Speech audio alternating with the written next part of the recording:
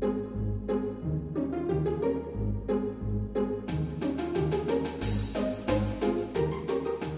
んにちは。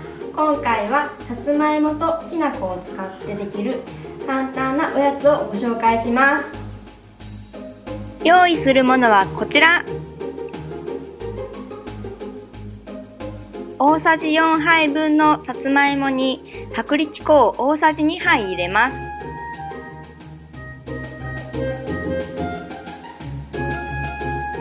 粉っぽさがなくなるまでよく混ぜます。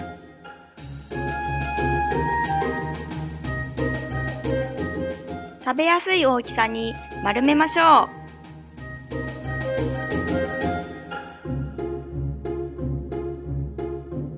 う。きな粉を入れた容器に丸めたさつまいもを入れます。全体にまんべんなくきな粉をまぶします。耐熱皿に並べレンジで加熱します。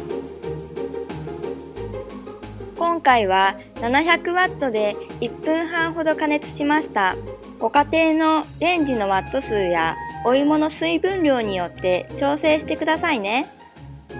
さつまいものきなこ団子の出来上がり。簡単にできるのでご家庭でぜひ作ってみてください。